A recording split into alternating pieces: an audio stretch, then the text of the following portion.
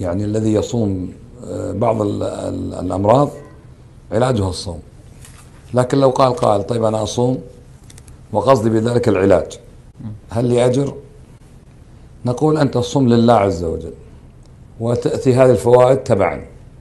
لا تجعل قصدك ها العلاج وإنما اجعل قصدك طاعة لله وتأتي هذه الأمور تبعا.